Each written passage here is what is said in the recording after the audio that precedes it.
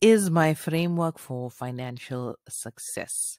And it's three little words that we got to remember, which is building, keeping, and passing wealth. And by building wealth, firstly, we're looking for cash flow, something that gives us cash flow. For example, our jobs, um, our, our businesses, those all provide cash flow. And basically, if we're working, we have a thing called active income where we're showing up at, at our job, we're doing the whole nine to five, and at the end of the month, we're getting salary. So we are trading time for rands there. So if we if we don't have time to trade for rands, we can't get this active income. All right. So once we've established a source of active income, all right, now we have our cash flow. And with that cash flow, we got to start budgeting and saving. And we're going to take a deep dive into budgeting and saving in a little while. But if you're really savvy, you're going to use um, as much as you can, use that cash flow to allocate it into investing for passive income. Because passive income is income that you gain without trading time for rands. It's your money working for you.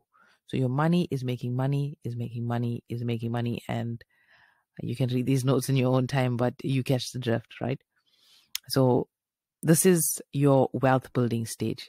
Active income and converting active income to passive income. And the long term game here is if, if eventually, if your passive income can match up to your active income, why do you need your job?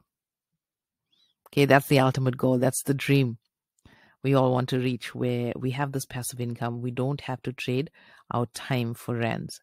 And I think that's one of the things I, I remind my kids all the time is that um, we talk about career options and trading time for rands. And I always tell them leverage technology, right? Where you're not trading time for rands. Okay, so that's the wealth building phase active income, passive income, and just mastering those skills of uh, investing, budgeting, saving to help you build wealth.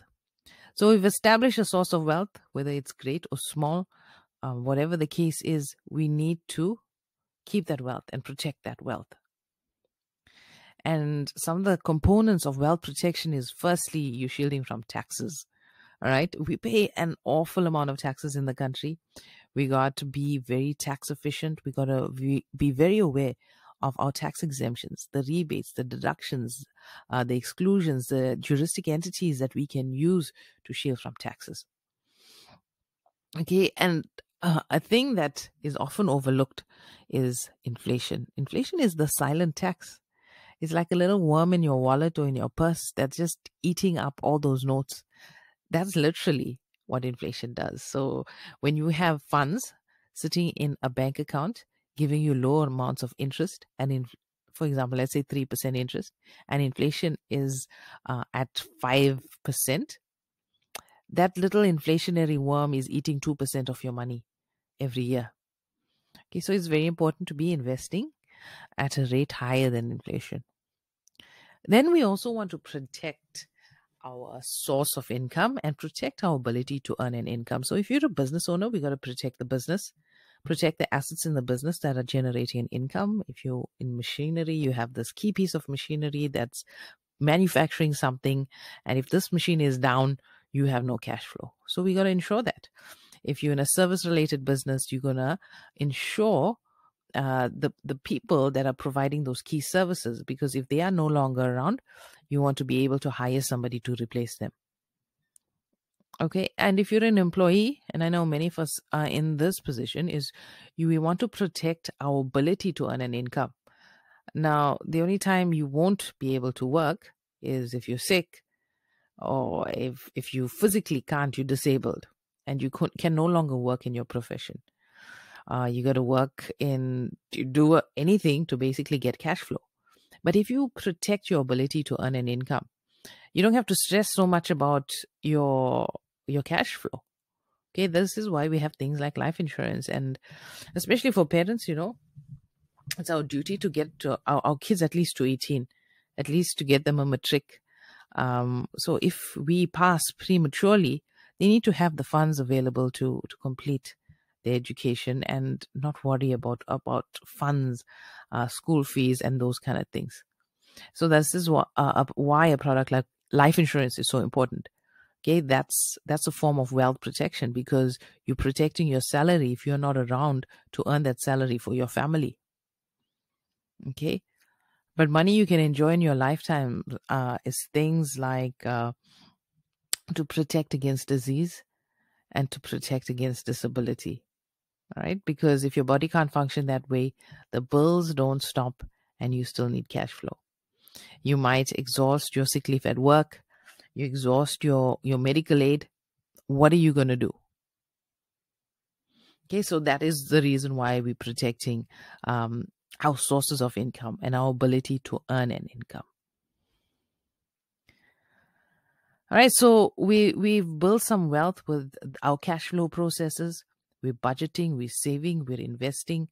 Uh, we've uh, established a small source of passive income that will slowly snowball uh, over time. We've understood the various aspects of protecting our wealth in terms of shielding from taxes, growing at a rate faster than inflation, and ensuring our, our sources of income.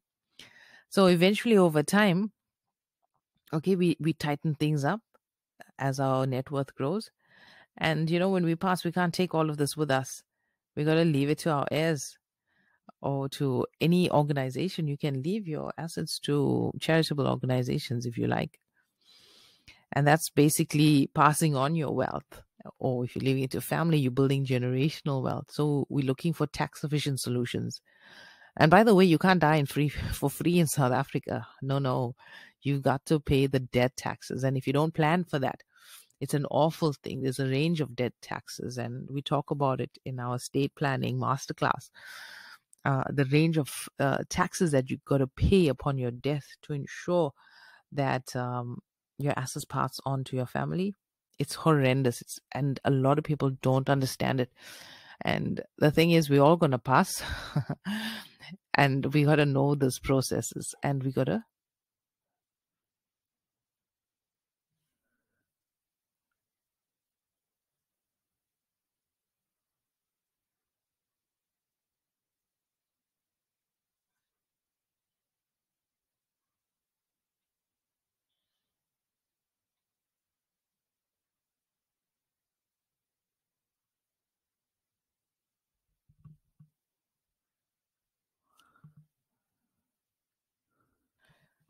So we have to prepare for our passing, understand what taxes are due, because um, if our families cannot pay those debt taxes, our assets will be seized. SARS will take them, sell them off at whatever uh, they need to sell it in order to, for them to recoup their taxes. And obviously, when it comes to estate planning, you're winding off your estate, the attorney is involved. And when an attorney is involved, it can get very expensive. So we want to plan for this uh, before it actually happens, uh, instead of leaving uh, our families with the, with this burden because it's an awful thing for them to go through. And unfortunately, once it's done or once you pass, nobody can help you. You're stuck in the process. Right? So plan for it in advance. So just to summarize uh, about the the financial success framework. Firstly, it's building wealth, active income, and passive income, and understanding the processes of effectively using your active income to build passive income. So we got to master the budgeting and the saving process. We want to, once we set up uh, our investments, our passive income, and these uh, assets that generate us an income, we want to preserve that. We want to protect it. We want to keep we want to keep that cash flow. We want to keep that appreciation. We want to be tax efficient. We've got to understand the, the role of inflation in our wealth building and in our strategies. And we've got to protect our, our wealth and protect our sources of income. Then we want to prepare for passing this wealth over to our families. We've got to prepare for the death taxes and obviously passing everything over in the most efficient, tax efficient manner.